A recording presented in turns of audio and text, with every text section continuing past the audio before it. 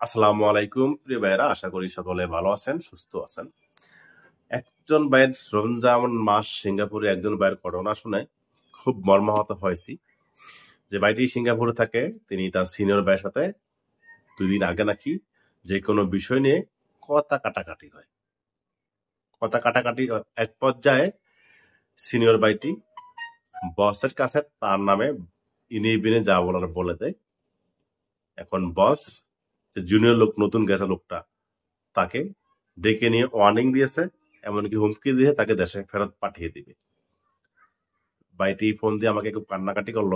কান্নাকাটি মানে একটু আবেগতিত হয়ে গেল কথা বলতে কো ভাই, এত টাকা ঋণ করে আসছি। একজন বাংলাদেশি সিনিয়র ভাই, তার দ্বারা আমার এমন এত বড় ক্ষতি হবে, আমি কখনো ভাবতে পাইনি এমনকি বলো যে বাংলাদেশি ভাইটা নামাজ কালামা পড়ে।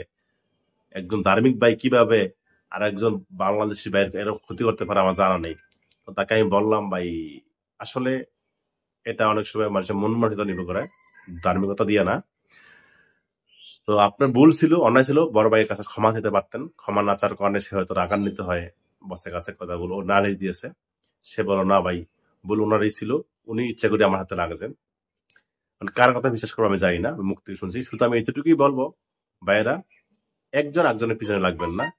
আপনি যদি তা পারেন, কাউকে উপকার করার, উপকার করবেন, কিন্তু কারও ক্ষতি করবেন না। কারও রিজিকের উপরে আঘাত দিবেন না। মনে রাখবেন, যে কোম্পানিতে কাজ করতে গেছে, তার আয়ের উপরে অনেক কিছু নির্ভর করতেছে। তার পরিবারের, তার আত্মীয় স্বজন সে নিজে। আপনার কারণে যদি সে চাকরিটা হারায়, তার পুরো পরিবার পথে বসে যাবে।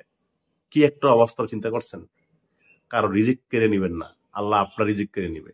আপনার কারণে যদি বাড়িটি চাকরি চলে যায়, তার পরিবারের উপর আঘাত হানে, এর দায়ভার আপনারই হবে। উপরওয়ালা আপনাকে ছাড় দিবেন না।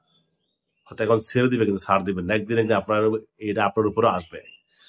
তাই বলব যে, মিলেমিশে থাকার চেষ্টা করবেন, একজন একজনকে ভালোবাসতে চেষ্টা করবেন। যদি ভালো না লাগে, কথা বলবেন না। তাই বলে তার ক্ষতি করার চেষ্টা করবেন না। তার রিজিকের উপরে আঘাত করবেন না। আমার কাছে এই পৃথিবীতে সবচেয়ে মারাত্মক অপরাধ হলো একজন একজনের রিজিকের উপরে আঘাত করা। রিজিক। সে রিজিক আপনার, আপনি, আপনার অভিযোগ দিয়ে তার চাকরিটা খোয়ালেন। আপনার কারণে তার চাকরিটা গেল, তার মানে আপনি তার রিজিক কেড়ে নিলেন। আমার মতে এটা আর কি কারোর কারও রিজিক নিয়ে টানানি করবেন না প্লিজ ভাইয়েরা। যে আপনার যদি তাকে ভালো না লাগে, তার সাথে কথা বলবেন না।